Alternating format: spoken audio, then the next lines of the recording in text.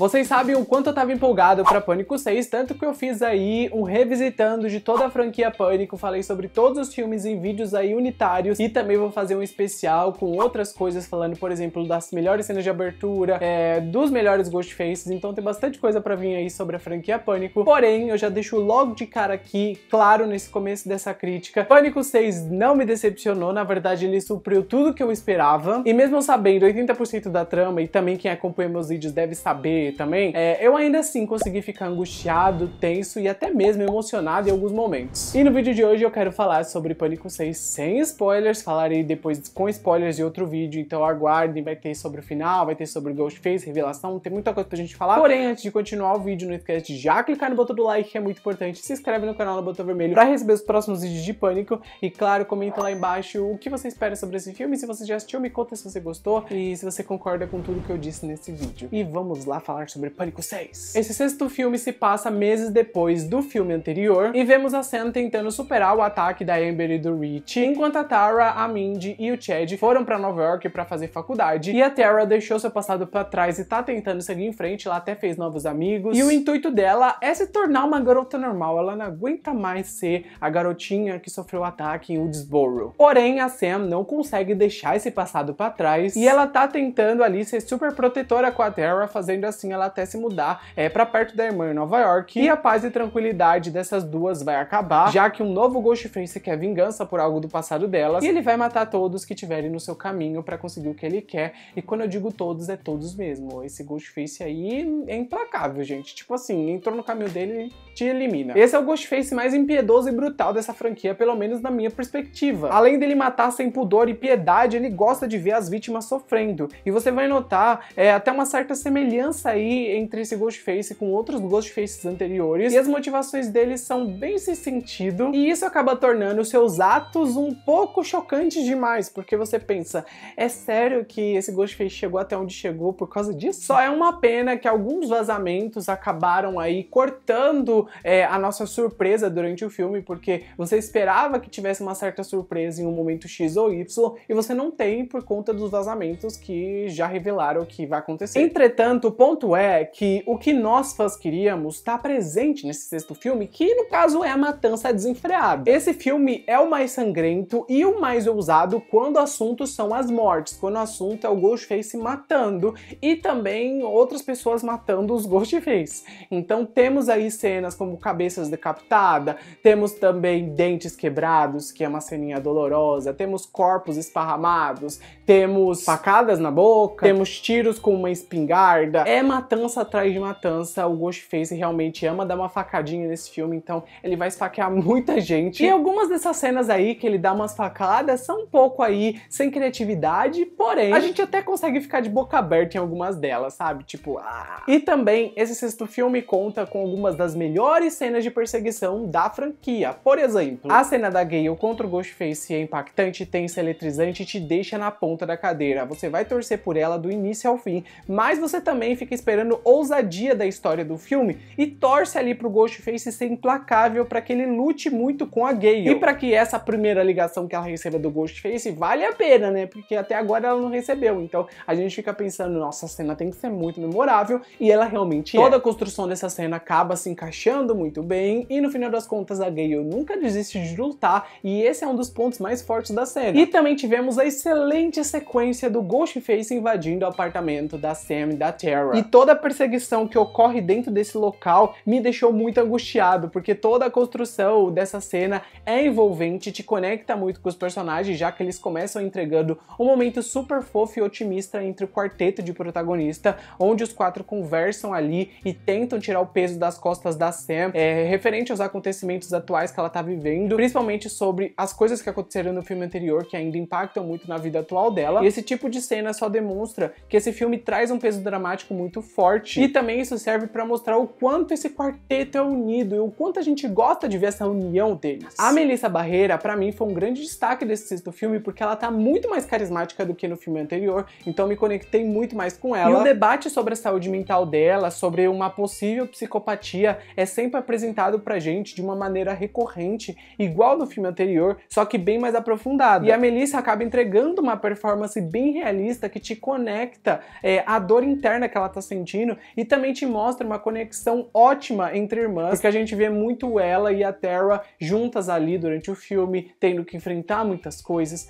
e isso acaba meio que unindo mais do que nunca as duas. E também mostrando que essa união também pode ser quebrada e fazer com que a Terra confie na Sam e a Sam confie na Terra, independente se elas estiverem juntas ou não. Enquanto a Jen Ortega consegue entregar ótimas cenas de ação e de correria, e claro, ela tem um charme único e um carisma incomparável, e o arco dela, como eu já disse com a Sam, é muito forte, porém, o arco que eu mais gostei foi com o Chad. É, para mim, a trama desses dois aí, além de ajudar a desenvolver melhor o personagem do Maisel Gooding, eles também conseguiram criar uma ligação única entre ele e a Terra, que gerou aí uma cena até triste em um certo ponto do filme, que você sente a dor que ela tá sentindo e a dor que ele tá sentindo. Então são dois personagens que ganham um certo arco, que mesmo que seja subdesenvolvido, ainda eles ganham. E no final das contas você fica feliz por eles encontrarem essa união perfeita. E mesmo que a Diana e o Jason estejam incríveis e que a Melissa seja a nossa protagonista maravilhosa, ainda assim a Jasmine Savoy Brown interpretando a Mindy, ela consegue ser aí a personagem que mais rouba a cena. Ela é uma personagem brilhante e as cenas dela me lembram muitas do Randy, porque ela é aquela nerd obcecada por filme e isso acaba até servindo como uma âncora de metalinguagem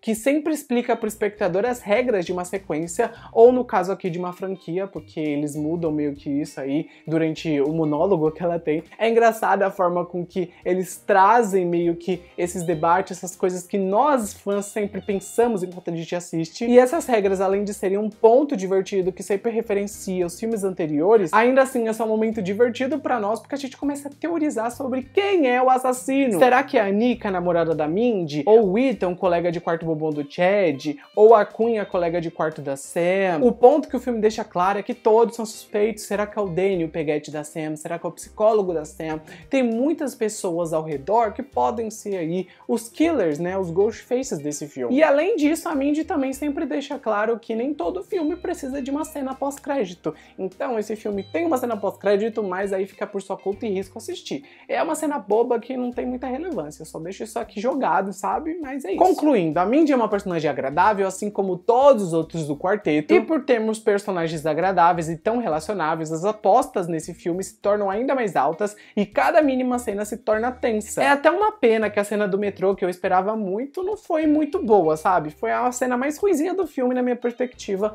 e eu vou falar sobre ela é, no meu vídeo com spoilers, porque eu preciso falar o porquê, né? Porém, não curti muito. Eu até quero saber de vocês, vocês curtiram essa cena? Comenta comentei. Mas voltando a falar da cena do apartamento, que é uma das minhas favoritas de todo o filme, eu realmente tremi de tensão nessa cena, eu pulei da cadeira em alguns momentos, eu fiquei com o coração disparado, eu não tô zoando, meu coração disparou. Principalmente na cena da escada, que foi tão impactante que eu acho que eu realmente ali fiquei com os olhos estatelados enquanto eu tava vendo. E eu acho que vocês vão curtir demais essa cena da escada, aliás. E além dessa, também temos a cena da bodega, que tá completa no trailer, porém eu gostei da forma com que ela foi colocada no filme, é, conseguiram construir essa cena de uma maneira que me deixasse ali suando frio, graças ao Ghostface usando uma espingarda, isso acabou elevando o nível do ataque dele na cena. E mesmo com muitos acertos durante o filme, o último ato, mesmo que tenha momentos bons, ainda assim não é lá essas coisas. Já que depois da revelação, você pensa que algumas coisas foram mal explicadas e as motivações do Ghostface eram bobas demais. Porém, a luta final acaba compensando, eles entregam sangue e brutalidade, e a metalinguagem pós-moderna imposta nessa tal cena se torna um ponto bem abordado aqui nesse desfecho. Então acaba que fica balanceado, sabe? A revelação não foi lá essas coisas, motivação também não, mas o resto compensou. E já que eu falei desse defeito do filme, eu acho legal pontuar que ainda tem mais acertos para serem comentados. Como a cena de abertura, que é bem diferente do habitual, e a gente tem uma boa crítica a imitadores. Atrelado a isso, a gente também tem algumas mortes idiotas rápidas e ao mesmo tempo expositivas. Então aguardem as mortes expositivas, porque vocês vão ver aí muita coisa doida nessa cena de abertura. Também temos o retorno da nossa amada Kirby Reed, que finalmente volta aqui para as telas como uma agente do FBI, e ela se junta ao detetive Bailey para investigar os ataques do Ghostface. E a Kirby, tristemente, não tem o destaque que eu imaginava que ela teria. Eu queria muito que o papel dela fosse mais relevante para toda a história, porém acaba que ela é reduzida a uma participação especial. Então, faltou um pouquinho mais do roteiro, né, para colocar essa personagem com mais destaque. Mas é bom eu falar que a Hayden Panettiere é uma atriz ótima, que conseguiu entregar uma das minhas cenas levinhas favoritas do filme, que no caso é a cena que ela conversa com a Mindy sobre filmes de terror, essa cena acabou aí sendo até um alívio em relação ao resto do filme que estava muito frenético.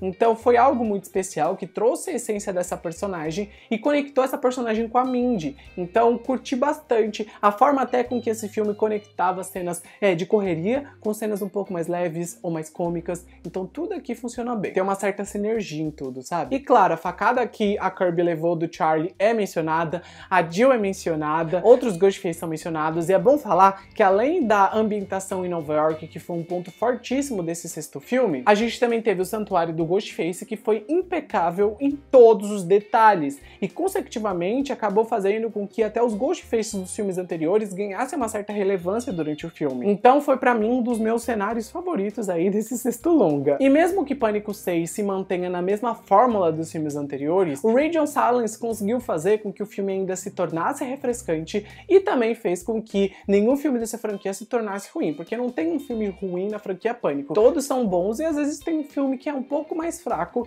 em relação aos outros, mas no geral, a franquia Pânico é muito boa. A cinematografia, por exemplo, desse sexto filme tá ainda melhor, os figurinos são mais memoráveis, o roteiro do filme, mesmo que tenha buracos e incoerências, ainda assim traz uma agradável abordagem até um comentário a fake news, que é o mal da nossa atual sociedade, e claro, traz muito debate sobre a gente ter um legado, mas que também o nosso próprio legado pode ser traçado por nós mesmos, sem a necessidade da gente depender do nosso passado, e também a gente pode escolher nossa própria família. Então não é laço de sangue que conecta você a alguém, você pode escolher sua família. E a propósito, o filme ainda traz debate sobre pessoas tentarem lucrar com a desgraça dos outros. Cough Cough, Gay Weathers, escrevendo um livro que você prometeu que não escreveria. Ai, mas outra pessoa vai escrever. Gale, pelo amor de Deus, você prometeu, né? E aí a Sam ficou brava e é sobre isso, vocês vão ver assistindo o filme. No geral, Pânico 6 é o mais dramático da franquia, teve sequências de ação eletrizantes, teve uma violência da boa, teve um ritmo envolvente e a dinâmica dos sobreviventes é tudo pra mim, gente. Ah, como eu amo eles. Sendo que a nossa atriz legado, Courtney Cox, sempre é elegante e maravilhosa em todas as cenas da Gale,